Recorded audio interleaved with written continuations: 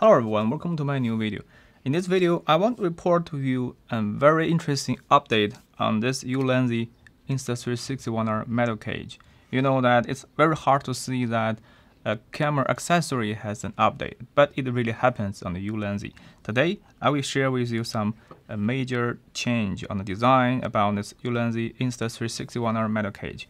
So this is the old version and this is the new one. As you can see, I have two 1R module, so I need two cage. The first time I, the Ulanzi designer told me that they haven't made uh, an update on the metal cage, I bought a second metal cage uh, right at the moment. And today I have received this new metal cage and I want to share with you the two major update about this Ulanzi uh, Insta360 metal cage. From the uh, top view, you can see that this is a new one, this is an old one.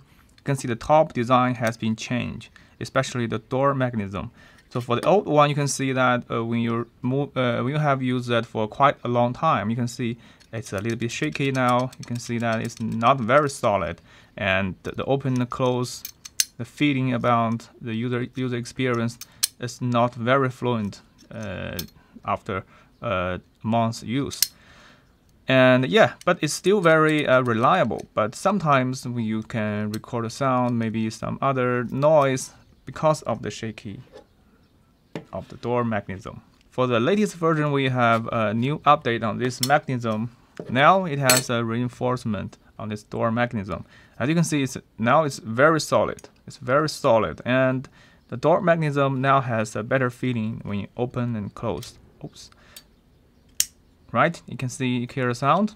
It's very fluent and very responsive and it's also more reliable. And now let's uh, take a look at another change on the bottom design. You can see that this is an old one, this is a new one. For the old design, the quarter-inch mount is not in the middle of the cage. So when you want to use this uh, invisible uh, microphone setup, which uh, you can find in my another video, you can see that it's not really perfect to put everything invisible under the camera body.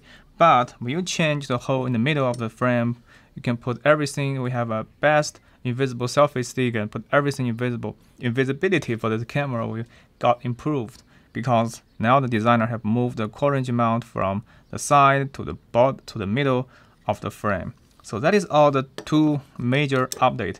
And one of the mi minor uh, improvement is the foam inside this cage. Now when you put the camera inside the cage, the feeling is more solid compared with the old version.